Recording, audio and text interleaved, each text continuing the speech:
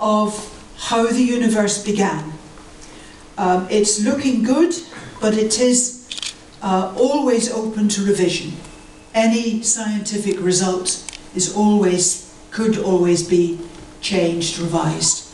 And during my lifetime, our picture of the origin of the universe has got modified quite a bit. But this is our current best, stand, best understanding, and I think to me it looks quite good. So we believe our whole universe had a beginning about 14 billion years ago. And it started with a big bang.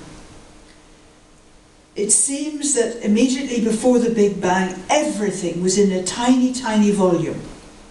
And it didn't like being in a tiny, tiny volume, so it went whoosh.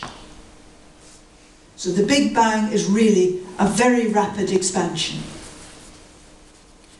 It was given the name Big, Big Bang as a sort of nickname, and the name has stuck. And you'll see it now in textbooks with capital B's for big and bang.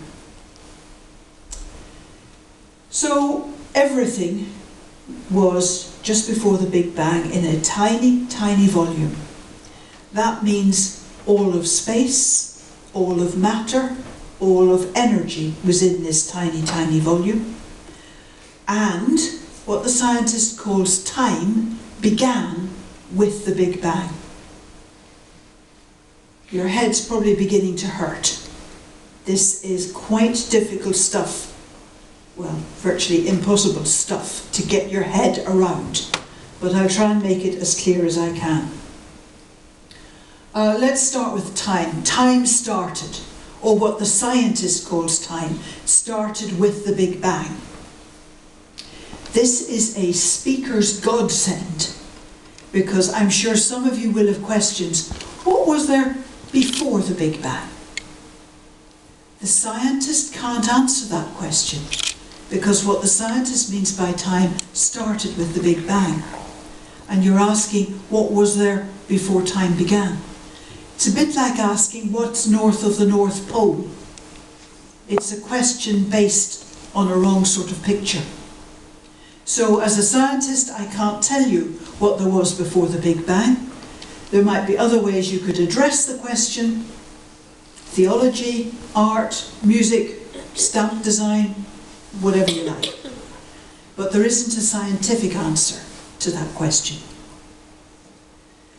And then all of space was in this tiny, tiny volume. It's springtime, there are leaf buds that are busy bursting open. Just before a leaf bud bursts, you have crinkled up inside the bud the small leaf and its potential for growth. And then when the bud bursts, the leaf unfurls and grows. It's a bit like that with space.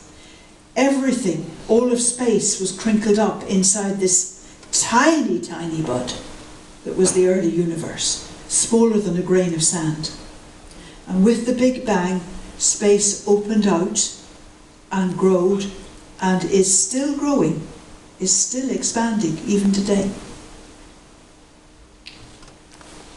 Because, and this is really a head hurting bit, because all of space was in that tiny, tiny volume, the explosion was everywhere in all of space.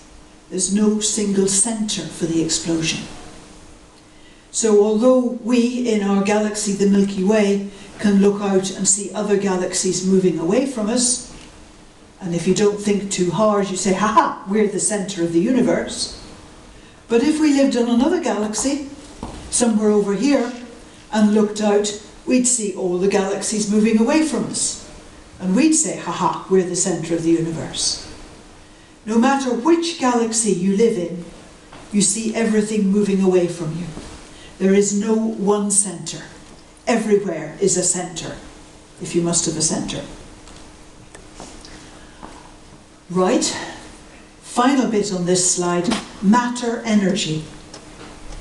Have you heard of Einstein's equation E equals mc squared?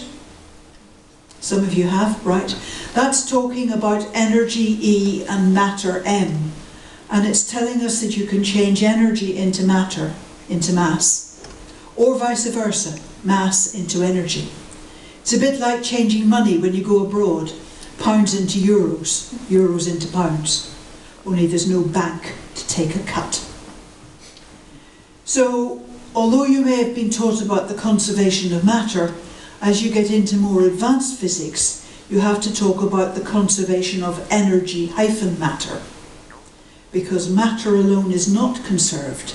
Sometimes it can change over into energy, or energy can change into matter.